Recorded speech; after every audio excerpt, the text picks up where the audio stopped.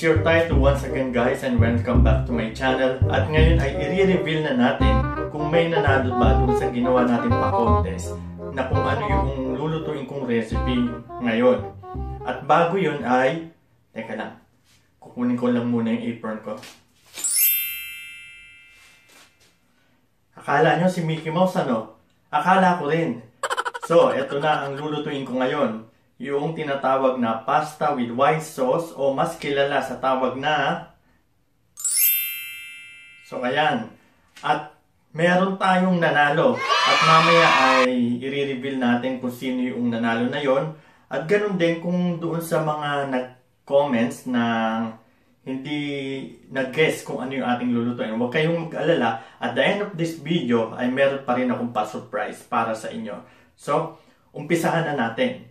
First, ito yung mga ingredients niya. So ngayon, nakita nyo na yung picture na ingredients na gagamitin natin dito sa ating carbonara. Pero aside from that, ipakikilala ko pa rin sa inyo isa-isa kung sino-sino sila. Kasi kapag hindi natin ginawa yun, yung pinakilala natin kung ano yung ingredients na ginagamit natin, minsan nagdaramdam sila. Kaya kung minsan napapansin nyo, yung kahit anong sarap ng luto nyo ay parang bitter yung lasa. Aww. Parang relasyon din yan eh. Kapag ka hindi mo inintroduce yung, yung karelasyon, minsan nagiging bitter ang inyong pagtitinginan. So, ito na. Ipakikilala ko sila sa inyo. Siyempre, sa carbonara, hindi pwedeng mawala si pasta. So, ang gagamitin lang natin is 500 grams. So, kung marami kayong Siguro good for mga 3 to 6 servings na itong 500 grams. Depende sa lakas nyong kumain. Bacon. Around, ang isang nito ay 40 grams. So 80 grams siya. Luncheon meat or ito yung gagawin natin pinaka-ham. Pero kung wala naman kayong luncheon meat or ham, okay lang din naman. Cheese. Pwede na rin itong ganitong kalaki. Pero kung mahilig kayo sa cheese, kahit isang box siguro pwede nyong ilagay. At bawang at sibuyas. Ayan. Yung bawang na ginamit ko, mga 5 globes siya. Mahilig kasi akong sa maraming bawang. Saka mas healthy naman din kung mas marami ang ilalagay natin. Huwag lang naman yung sobrang dami din. Pwede naman ding 2 globes lang o dalawang piraso. Cut into small pieces siya. Ganun din yung sibuyas cut into small pieces. Depende sa laki ng sibuyas nyo. Ayan. At sasamahan din natin siya ng mushroom. Etong mushroom na to, ang dami nito ay nasa 1 half cup ang dami. Pero kung gusto nyo lumulutang yung carbonara nyo sa mushroom, edi dagdagan nyo mga 2 kilos na mushroom ang ilagay nyo.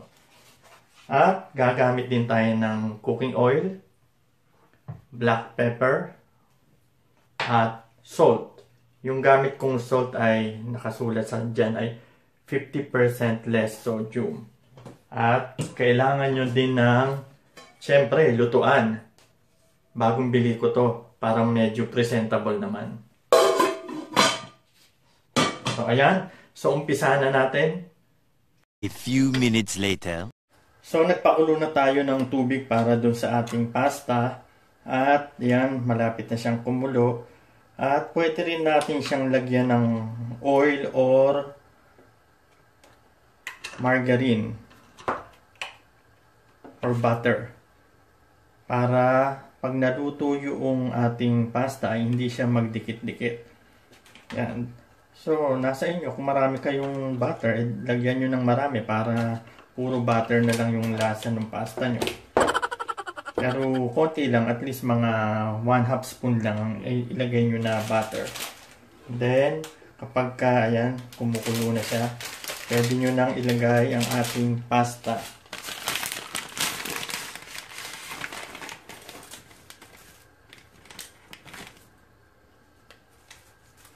Maliit yung ating lalagyan, kaya hintayin natin makook yung half niya.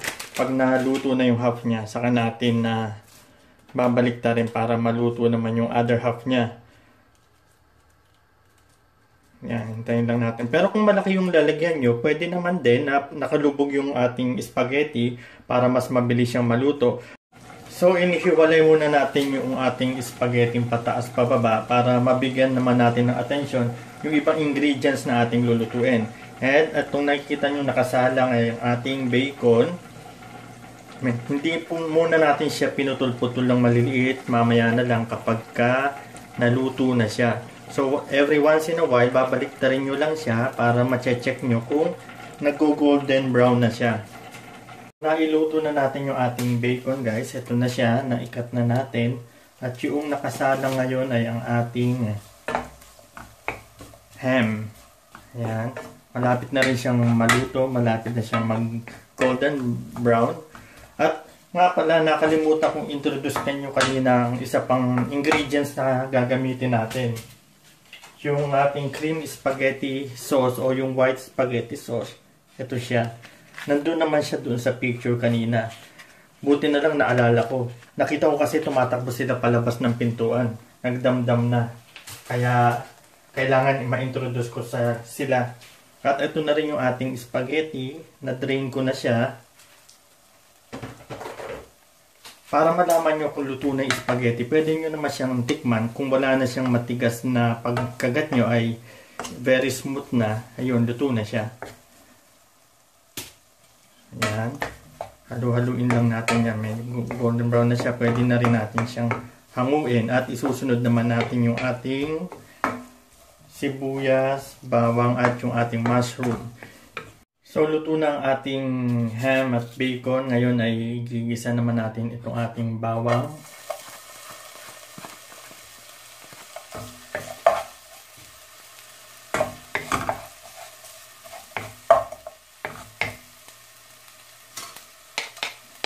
Ayan.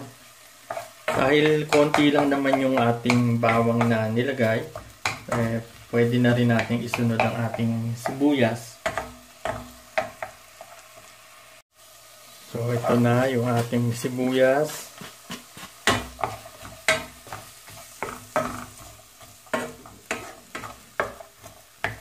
Ayan siya. Ako guys, kung nandito lang kayo eh, sobrang bango ng ating niluluto. Bawang at sibuyas pa lang eh, ulam na. So, ayan. Medium heat lang natin siya guys ha, kasi kapag ka sobrang high naman noong apoy na ating gagamitin eh, baka masunog yung ating mga ingredients eh medyo papait siya. Yun nga, magiging bitter yung lasa. So, sunod na rin natin ang ating mushroom. Yan siya. Isa lang natin siya ng igisa hanggang maluto yung ating mushroom. So, ito na guys. Almost cook na siya. Actually, cook na siya. So, pwede na nating isama yung ating unang nalutong bacon and ham. Yan. Mix lang natin siya.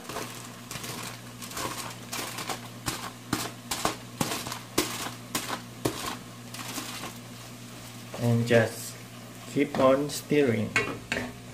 Yan. Halo lang tayo ng halo hanggang ma-mix natin siyang maigi. So, ayan, na-mix na natin siya ng maigi. Nagpalit ako ng sandok. Kahoy yung ginagamit kong sandok guys para hindi magagasgas yung kaldero na ating ginagamit. Hindi naman na siya kailangang lutuin ng matagal pa dahil luto naman na yung ating bacon at ham. So, lalagay na natin yung ating sauce.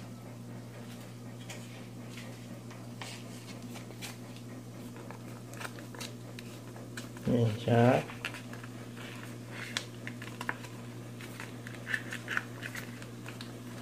So, dalawang pack ng sauce itong ating gamit.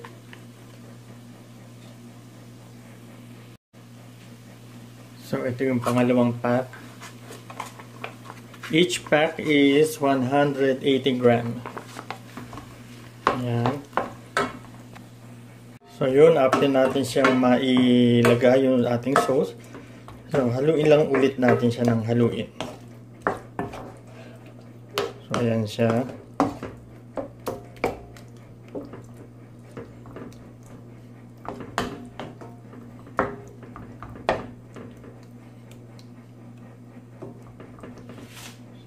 So, now we can add medyo lakasan natin ng konti yung apoy yan.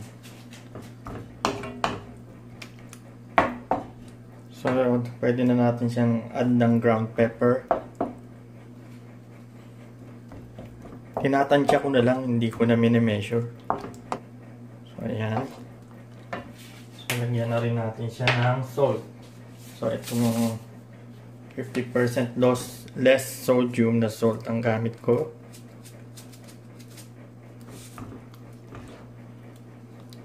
Ayan. Konti lang. Konti lang inilagay nating salt dahil yung ham naman na ating ginamit ay meron na siyang additives na salt doon sa kanyang uh, pagkakaluto. O may maalat na talaga yung ham na yon kaya konti na lang yung ating nilagay na dinagdag na salt. So ayan. So hintayin lang natin siyang kumulo. So ayan guys, medyo kumukulo na siya. So ready na ang ating carbonara sauce. So ayan, ready for serving na siya. So ito na yung ating nalutong pasta, 500 grams o half kilo. Ito na yung ating nalutong carbonara sauce. Ito yung ating cheese. At wala akong parsley. Kaya spinach na lang. Dahon ng spinach ang ginamit ko. At mamaya eh tuturo ko sa inyo kung para saan yan dahon ng spinach na yan. So ako, hindi ko na kinocombine yung pasta at sauce kasi yun ang gusto ko eh. Ayokong i-combine eh. Pero kayo, kung gusto nyo i-combine, nasa inyo naman yun.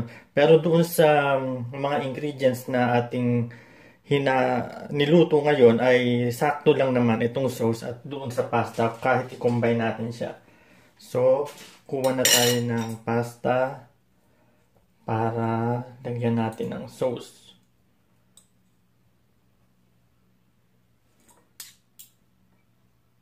So, ayan. Kaya, okay lang naman kung gusto nyo ilagay na ihalo na doon sa sauce. Kaya lang ako nga, mas prefer ko na nakahiwala yung pasta at saka ko na lang siya lalagyan ng sauce.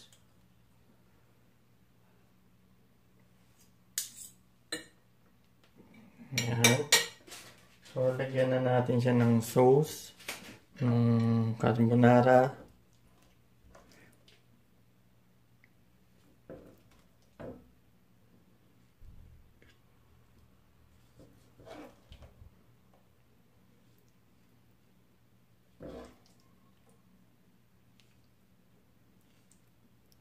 Kung gusto nyong damihan, again, it's your choice, it's your option. So, ayan. So, mix na lang natin siya.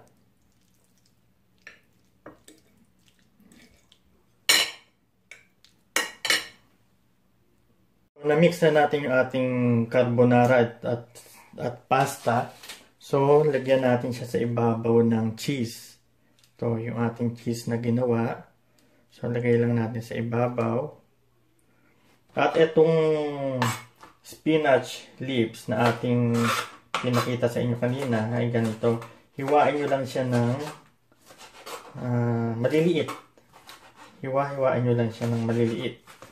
Hiwa na natin yung spinach ng maliliit. Then, ganun lang din, katulad ng cheese, itatoppings lang natin siya. Pwede naman parsley, usually parsley ang ginagamit. Pero kung wala naman kayong parsley, kahit any green leafy vegetables ay pwede naman para lang maganda yung ating presentation. So ito na, ito na siya. So kailangan kasi maganda yung ating presentation kasi 'di ba ang uso ngayon kailangan kukunan mo muna ng picture bago mo siya kakainin.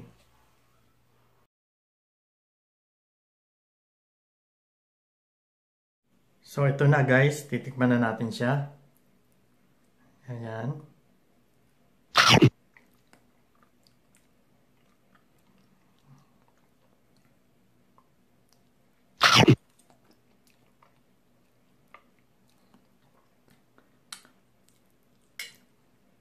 Sumabit pa.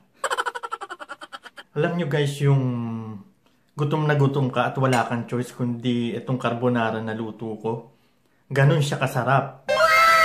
Kaya doon sa mga kaibigan ko na nandito sa Korea, pwede na kayo umorder sa akin. So ayan, naubos ko na. Kaya ang isusunod naman natin ang iyang announcement kung sino ang nanalo sa ating pa-contest. A few inches later. So ito na. So may nanalo do sa pinahula ko kung anong next recipe ang aking lulutuin. Akalain nyo yun? At ito ay walang iba kundi si... Sound. Ulitin natin. At ito ay walang iba kundi si... Gladys Regines Woo! De La Torre! Again Gladys, congratulations. Ang galing mo ha. Actually dun sa tatlong comments mo na carbonara, graham at buko pandan, yung second option ko talaga na lulutuin is graham kung hindi ko maluluto itong carbonara. So kahit pala graham ang ginawa ko, panalo ka pa rin. At dahil natuwa naman ako na ikaw lang yung nag-iisang nanalo doon sa mga nag-comments, so instead of 100 peso load lang ang ipapadala ko sa iyo, ay dodoblehin ko ito at gagawin, gagawin ko itong 200 pesos. So, pakihanap lang sa FB yung aking FB page, yun na same title na aking YouTube channel, It's Your Taito, para doon ay ma-message kita kung paano ko ipapadala sa iyo ang cellphone load worth 200 pesos. At katulad nung sinabi ko sa umpisa ng video na ito, para naman doon sa mga hindi nanalo na nag-comment sa aking YouTube channel dahil Pasko ngayon, di ba? Ay natuwa naman din ako sa inyo kaya lahat kayo na nag-comment sa aking YouTube channel ay bibigyan ko rin ng cellphone load worth 100 pesos. At shoutout din pala kay ate Nene Dalmasio na laging nagsishare ng aking video at dahil doon ate Nene, ime-message din kita at padadalhin din kita ng cellphone load. Actually, first time kong gumawa ng carbonara at so far, winner naman ang naging resulta niya. So, doon sa mga nasa Pilipinas at kung kayo ay nagka-crave sa Korean food, ay i-search nyo lang sa FB page ang Koisina. Yun, yun yung kanyang picture. At pwede kayong umorder sa aking pamangkin na si Chef Kir Flores ng masarap na bibimbap. At happy birthday sa aking gwapong pamangkin na si Ken Rich. At sa aking mga kapatid, si Annabie, Carlo, si Rachel, si Mark, at sa mga guwapo at nagagandahan kong pamangkin na si Kaikai, Koy Koy, si Ken, si Keiko, si Chrissy, Merry Christmas sa inyong lahat at advance Happy New Year. Sa inyong lahat dyan guys, Merry Christmas and Happy New Year. Although this year has been a very challenging year for each and every one of us, pero ang sabi nga lahat ng ito ay malalagpasan natin at may bagong taon na darating sa ating buhay. Maaari ang iba sa atin ay nakaranas ng pasakit ngayong taon na ito, lalo na dahil sa pandemic. Pero sabi nga ay, kung familiar kayo kay Dorothy sa Finding Nemo, ang sabi ni Dorothy doon ay, keep swimming, keep swimming. So tayo naman, let's just keep praying. Kahit ano pa man ang pinagdadaanan natin sa buhay, manalig at manalangin lang tayo sa Diyos dahil walang imposible sa Kanya. So again, salamat sa mga sumali sa pa-contest ko na ito. So please keep watching my channel